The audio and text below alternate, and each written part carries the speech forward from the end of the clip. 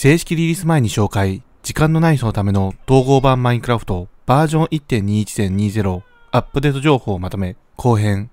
今回はバージョン1.21.20.21から24のプレビューアップデート内容のまとめです。なお、プレビュー版の内容で紹介しているので、一部実装されない機能もあるかもしれません。その点はご了承ください。カメラコマンドの実験に、クリエイターカメラ、包括標的カメラの登場。新機能ターゲットエンティティにより、フリーのカメラプリセットで位置は固定されるが、対象のエンティティを視点だけ追いかけるようになる。骸骨、ガスター、フローの肌模様のテクスチャーの裏側がミラーリングするようになり、模様入りと尖れた砂岩をかまどに入れて滑らかな砂岩ができてしまう問題の修正。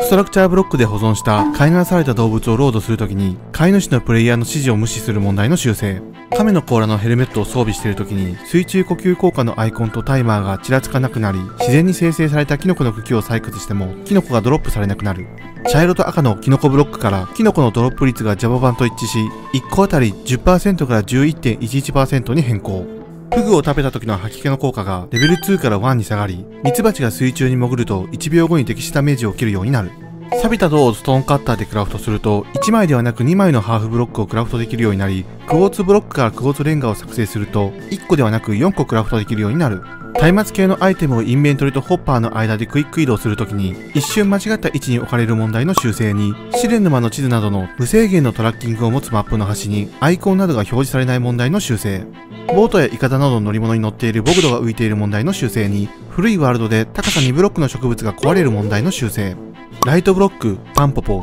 砂岩、金床、クォーツ系、土系、砂系が独自の ID になる。レルム招待のリンクが最大5つ作成できたり、リンクコードの長さが11から15文字に増加など、レルム招待リンクの強化がある